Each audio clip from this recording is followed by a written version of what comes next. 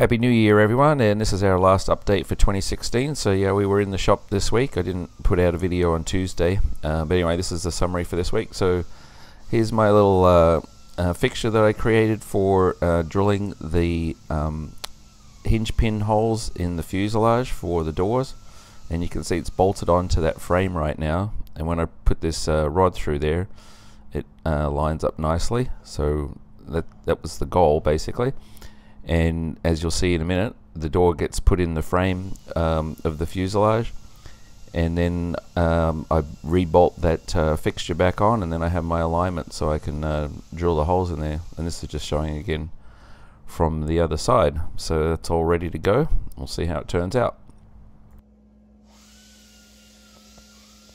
And here you can see it's all in place and I've already actually drilled um, the first two holes. So you, there you can see um, I had the drill bit going through there. It's a little bit difficult to get this camera angle because it's right up against the inside of the roof there. But uh, worked out nicely. It didn't take much um, to drill through there. There's about uh, almost about 3 sixteenths of an inch of carbon to go through there. And here you can see I've got my second fixture ready and this one helps me keep the drill bit aligned as it's going to drill through the other side. So you can see I've got the bit bit there ready to start drilling on uh, on the outside edge of that one. And that one went fine too didn't have any problems. So there's the bit there with a little extension on there. So here you can see with uh, both of the holes drilled now. And actually did a really nice job. So it's a little bit dirty and dusty there but uh, anyway that's all done now so happy with that. And with the door temporarily pinned in place you can see here's Keith uh, showing you how it works. So just lifting up there and it looks a little low there right now, but keep in mind that the fuselage is sitting 10 inches lower than it will actually sit when it's on the landing gear. So um, the lowest point of that door, I believe, is 73 inches in the air. So it's unlikely you're going to bang your head on that unless you're super tall. And next up, we're working on the, the first of the wing skin molds. And so this one's going to be done a bit different. We're actually going to put a core in there, so it won't have the layers of uh, heavy like we normally do when we're creating a mold. So it'll just have sort of some medium layers and core in the middle to give it the rigidity. Anyway, you'll see more of that next week when we get to laying that one up. And we're prepping to lay up the second of the door frame, so that'll be the left-hand side door frame. So here you can see Jeff's put some black top coat in there so he can uh, create those uh, intensifiers for where the door locks are. And uh, same as what we did on the uh, right-hand side door and here you can see it's filled in with a sort of resin Cabosil mix and a little bit of uh, glass to hold it all together. And those need to be sort of popped out of there once they're cured and then, then uh, trimmed and sanded uh, ready to be used when we're laying up the actual door frame which hopefully will be next week. So then we'll have both door frames uh, done. And here Devin and Zach are just putting some stands on this mold that is the uh, braces that meet up between the aft bulkhead and the firewall so that one will be uh, ready to actually lay up those parts shortly. And this is the upper uh, door skin for the right hand door. We decided to lay this one up because when we laid it up the first time we ended up uh, putting a little bit too much carbon on there. It was a little too heavy so second go around doesn't take long to do that now. And here's that one that the guys are working on. So that's being prepped for laying up now. It's got the uh, just taped around the outside edge there so and also has the uh, tacky tape around there underneath that tape so we can um, vacuum it when it's done. And this is a one for the um, ribs for the leading edges of the tank and the and the back of the door. So that one's uh, getting core cut for that, so it can be laid up. And this is the mold for the leading edges of the um, of the wing that attaches to the door. So that's basically getting ready to lay up. It's just going to do one side of that initially. And these are the molds for these floor braces that actually go sort of from the rear of the lower end of the door uh, to the back of the cabin and just add extra rigidity. So those are getting ready uh, to lay up as well. And meanwhile, all our test sample material has had time to cure now because we needed like a week to let it sort of uh, cure in before we could test it. So we've got these little samples now, they're all cut up. And we just have to bond them there to the FR4 and then bond the ones there for the glass to the acrylic and uh, then we let them cure for about another week the bonding and then we're uh, ready we'll be ready to do our testing. So those are just getting bonded with this Hysol product that we use to glue everything together. And here you can see they're bonded together and uh, there's the Hysol there that sort of just dripped out and so you can see how that works. And again it's going to have to wait about a week now so next middle of next week we'll be testing um, these and you'll see that.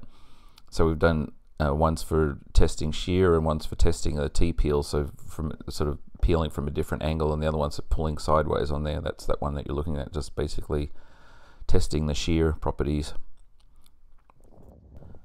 So one of the things I was interested in seeing is what the carbon looks like um, behind the acrylic when it's bonded to it because we're going to have the A pillar and the B pillar um, with the acrylic bonded directly to them. And as you can see the carbon fiber uh, comes through directly there which is kind of nice and that last uh, clip there was outside and this is inside and what's interesting is you look carefully there you can actually see when you tilt this the carbon fibers actually appear to rotate um, anti-clockwise and clockwise as you're tilting it back and forth which is uh, really interesting. So um, we'll see how things uh, work out, but um, I'm happy to see that you're going to get this nice carbon fiber effect uh, coming through the windows. And hopefully that bonding holds, and this is how we can actually do it on all the customer aircraft. And here the guys are laying up those ribs for the strake tank and also the back of the um, leading edge of the wing that attaches to the door. So those are pretty simple, just a couple of plies there in the core and then a couple more plies um, nothing complicated, and they're getting you know pretty quick at doing that. And these are the ones for those door braces now. Uh, those being laid up and actually had time to cure, so that was I guess the next day or whatever. And as you can see, came out nicely. So they still have to be trimmed off. Um, but there wasn't any core in those. It's just basically a straight up uh, layup. They're fairly um, stout because they need to you know add some structure. And here's Keith just prepping these molds for the back wall of the strake tank. Um, those are two part molds, so there's both of them there. He's just been waxing those up, and then they get bolted together and they'll be ready uh, to lay up those parts. And there's the tank ribs, and they're uh, under the vacuum bag now, so um, looking good. Not too much uh, worry about getting those ones done. So the guys are sort of moving along quickly through the parts now, which is good. And meanwhile, these hooks that uh, for the door locks came in from the um, company that did the CNC for us uh, on the other side of the highway from where we are. So those are uh, 4130 chromoly, and they're pretty heavy, pretty stout, but that's what it needs to be to handle the pressurization on the large door that we have.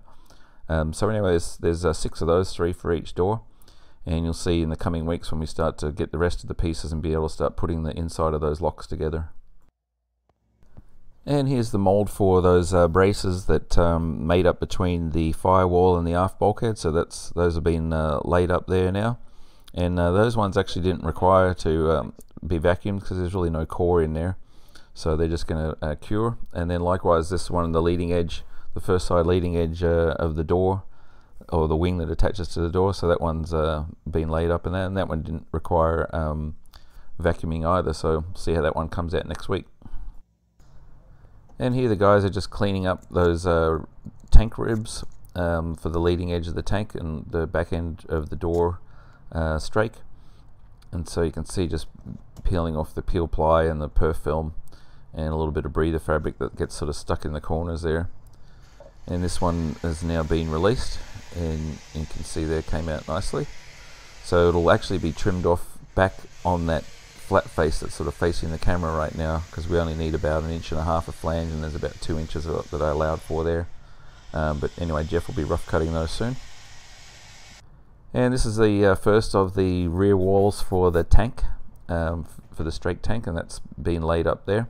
Or at least that's the start of the layup. Actually get some core laid in there as well, and then some more uh, carbon and here are those pressure intensifier blocks. So they've all been popped out and trimmed off and sanded up. And there's a couple little patches on there that need to be sanded again before we can use those. But just about ready for the door. And here's that uh, rear wall of the tank. And so the, that's been finished with the layup and then under vacuum.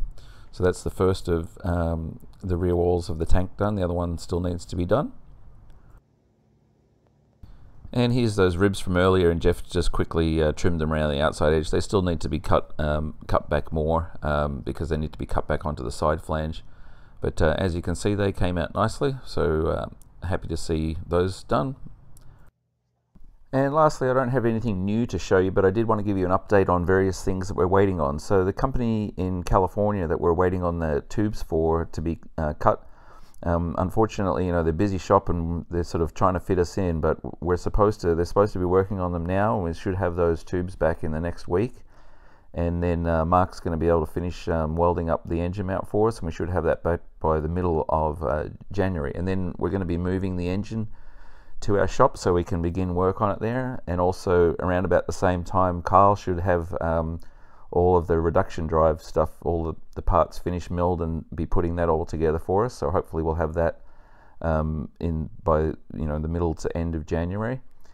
And with respect to the engine, we've sorted out our problem um, with the high pressure fuel pump, and we're actually waiting on a company up in Pennsylvania who's going to deliver um, the rotary fuel pump for us. It replaces the piston one that is in the engine that we have, which is not um, powerful enough for what we want to do.